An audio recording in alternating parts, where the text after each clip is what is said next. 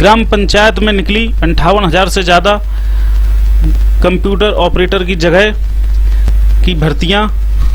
इसके बारे में हम इस वीडियो में बात करेंगे, कितनी वैकेंसी है और क्या इसमें एलिजिबिलिटी होनी चाहिए कौन कौन फॉर्म डाल सकता है और कौन कौन फॉर्म नहीं डाल सकता है, यही सारी बातें हम इस वीडियो में आपको बताएँगे और कोशिश करेंगे आपको अच्छे से समझ में आए वीडियो। और यदि आपका कोई सवाल है तो कमेंट बॉक्स में आप मुझसे पूछ सकते हैं। मैं हूँ दीपेन आपका स्वागत करता हूँ हमारे यूट्यूब चैनल सीपी ज्ञान में। वीडियो शुरू करने से पहले मैं बताना चाहता हूँ आपको कि यदि आप पहली बार चैनल पर आए हैं तो वीडियो को लाइक करें एवं चैनल को सब्सक्राइब करें। ऐसे ही लेटेस्ट जानकारी पाने के लिए बेल आइकन को दबाएँ। तो आज का वीडियो शुरू करते हैं। आप देख सकते हैं 25 जुलाई 2021 को ग्राम पंचायत, ग्राम सचिवालय में लगभग अंठावन हज़ार एक सौ नवासी के आसपास जो वैकेंसी निकाली गई है, मैं इसको बड़ा करके दिखाता हूँ। तो ये विज्ञप्ति संख्या है, ये निकाली गई है वैकेंसी। इनके, इन्हीं के बारे में हम बात करेंगे। तो सबसे पहले हम इसमें बात करते हैं कि इसको, इसकी लास्ट डेट क्या है और कब, कौन इसको फॉर्म भर सकता है?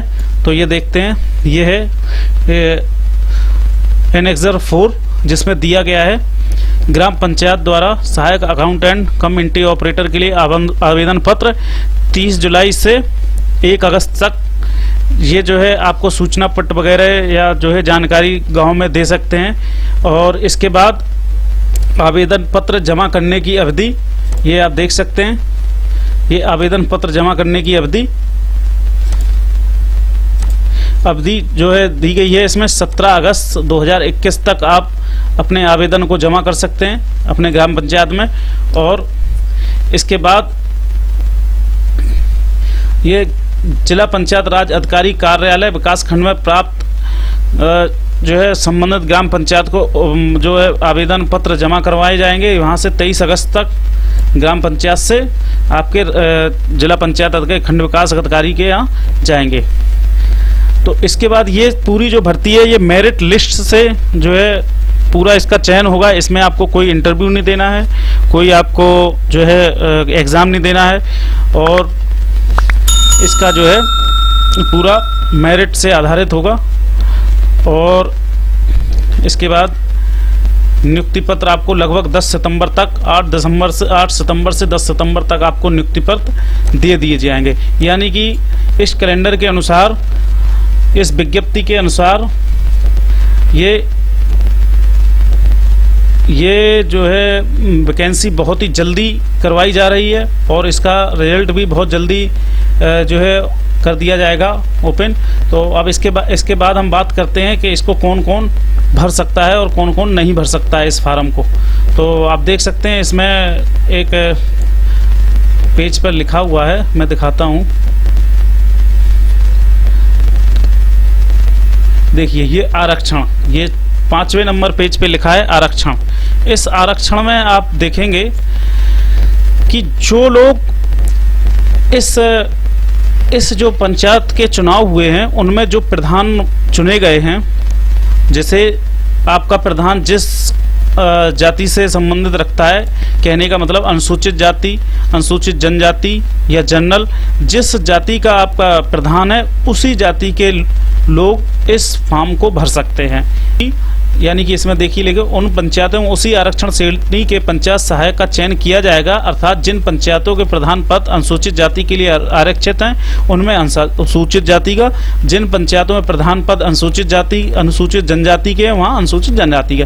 यानी कि जिस जाति का जिस कास्ट से आपका प्रधान बिलोंग करता है उसी का, कास्ट के लोग इस फॉर्म को भर सकते हैं। और इसमें यदि कोई ऐसा व्यक्ति है जिसका जिसके जो है परिवार के मुखिया का या परिवार के किसी भी जो है सदस्य के मौत कोविड में हो जाती है।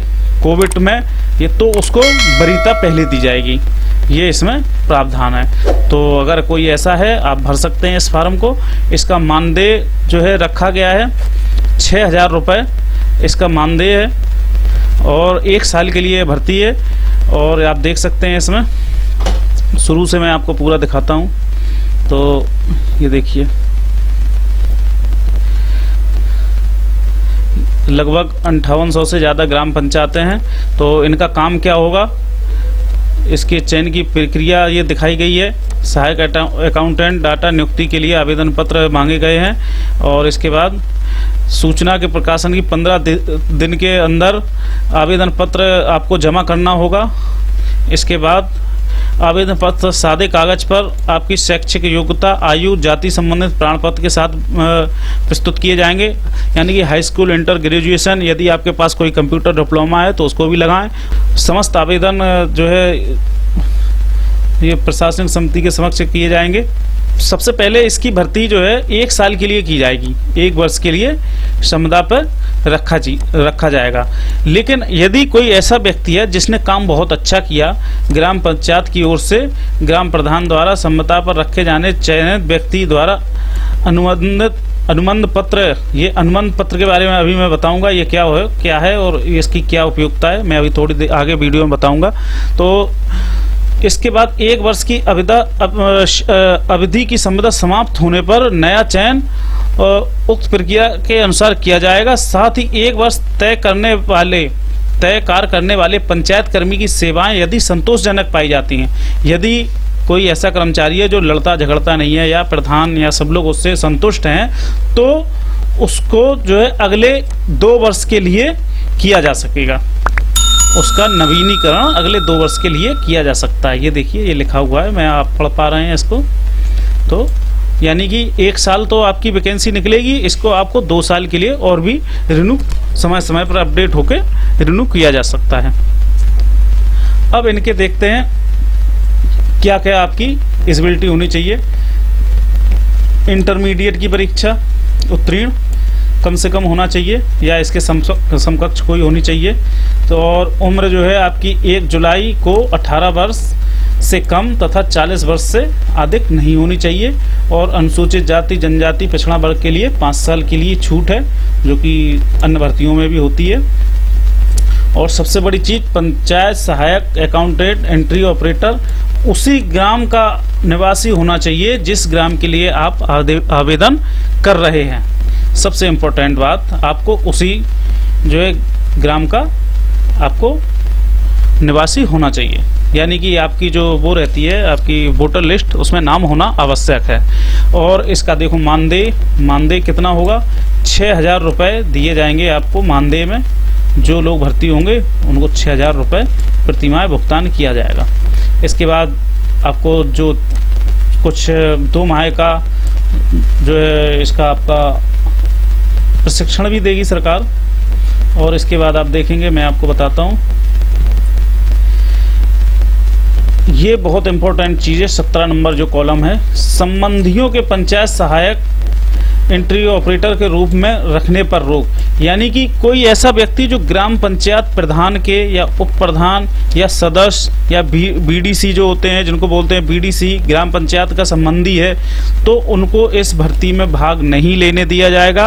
अब भर्ती से संबंधित और इनके जो है, जो संबंधी, यानी कि इनके जो निकट संबंधी होते हैं, यानी कि घर परिवार वाले, संबंधियों से मतलब है, उनके पिता, दादा, ससुर, या माता, ससुर, पुत्र, पौत्र, दामाद, पुत्र, बहू, बहन, पत्नी, पति, पुत्री, माँ, यानी कहीं से भी प्रधान से उसका कहीं से भी संबंध नहीं होना चाहिए, लिंक नहीं होना चाहिए। तो आप इस फॉर्म को भर सकते हैं। अन्यथा आपका फॉर्म रिजेक्ट कर दिया जाएगा। अब प्रतिबंध। प्रतिबंध एक ऐसा, यानी कि आप किसी राज्य सरकार से या किसी ऐसी संस्थाओं से निकाले गए हैं तो वो लोग ऐसे फार्म को नहीं भर सकते हैं। बस इसका मतलब यही है। इसके इसके काम बताए गए हैं। डाटा एंट्री ऑपरेटर के दायित्व आपको जो है पूरे गाँव की और जो भी आपकी समस्याएँ हैं, जो लाभार्थी रहते हैं गाँव में, जीवन यापन करते हैं, गरीबी रेखा से नीचे या ऊपर, उनका पूरा बायो डाटा आपको नोट करना है, ऑनलाइन करना है और और ये सारी जो है एंट्री आपको कंप्यूटर पे करनी है और इसके लिए आपको विधिवत टाइम मिलेगा और सारी सुविधाएँ जो हैं, वो सारी जानकारियों को ऑनलाइन कंप्यूटर मेंटेन करनी है। बस मेन पॉइंट ये है इसका। कार्यालय परिसर की साफ़ सफ़ाई की व्यवस्था भी आपकी होगी, यानी कि आपके जो सफ़ाई कर्मचारी हैं, आप उनसे कहेंगे, उनके द्वारा आप पूरे जो है, इसके जो है साफ़ सफ़ाई के लिए उनसे साफ़ सफ़ाई करवाएँगे। और जो है, उनकी अगर आपके गाँव में एक से ज़्यादा लोग हैं तो उनको ड्यूटी रोस्टर के अनुसार, यानी आप शिफ्ट बाई शिफ्ट ड्यूटी लगा सकते हैं। इनमें ग्राम पंचायत से संबंधित समस्त दस्तावेज़ की कार्यालय में उपलब्धता आपको कौन कौन से दस्तावेज़ कंप्लीट करने हैं? विभिन्न योजनाओं से स्रोत, धनराशि का विवरण निर्गन बीपीएल परिवार की सूची, विभिन्न योजनाओं के पात्र लाभार्थी, आप जो राज्य सरकार जो योजनाएँ चलाती हैं, उनमें कितने लोगों को लाभ मिल मिल सकता है? आपके गाँव में कितने लोग हैं जिनको लाभ मिल सकता है, उनकी सूची एक तुरंत कंप्लीट होना चाहिए। और जो विभिन्न योजनाओं लाभ प्राप्त करने के लिए आवेदन पत्र, आपके आवेदन पत्र जो है आपके फॉर्मेट होना चाहिए, उसका प्रिंट होना चाहिए फॉर्मेट और इसके बाद ये जन्म, मृत्यु प्रमाण पत्र परिवार रजिस्टर, आय व्यय, बिल वाउचर ये बहुत सारी चीज़ें लिखी हैं। ये आपको कंप्यूटर पे अपलोड करनी है। एवं महत्वपूर्ण जानकारी देने योग डिस्प्ले बोर्ड आपको बनाना है, जो आपकी जानकारी रहेंगी, आप उसमें लिखेंगे। और ऐसे ही ये आप पढ़ सकते हैं, इसमें बहुत सारी चीज़ें। इसके बाद आता है आपका फॉर्म कुछ आपको कंप्यूटर खरीदने के लिए ग्राम पंचायत द्वारा कुछ एक लाख पचहत्तर हज़ार रुपया मिलेगा, जो कि दिया गया है। आपको ये कंप्यूटर वगैरह और ये सीसीटीवी कैमरा, डेस्कटॉप, कंप्यूटर, जो ये चीज़ें लिखी हैं, तमाम चीज़ें, ये आपको खुद खरीदने हैं। ये सरकार आपको नहीं देगी, आपको पैसा दे दिया जाएगा। जिसकी डिस्क्रिप्शन वगैरह, ये डेस्कटॉप कैसा होना चाहिए और ये इनका सब कुछ कितना I P S Intel I three ten generation का आपको कंप्यूटर प्रोसेसर लेना है। ये सब चीज़ें इसमें दी गई हैं विज्ञप्ति में पहले ही से। तो प्रिंटर के बारे में जानकारी दी गई है वेबकैम के बारे में जानकारी दी गई है यूपीएस के बारे में ये सब चीज़। अब आता है आपका फॉर्म जो कि एनेक्सर टू पर बना हुआ है। पंचायत सहायक accountant cum data entry operator हेतु आवेदन। तो सबसे पहला तो आप हाल का ही जो है फ़ोटो खींचें, खिंचवाएँ अपना।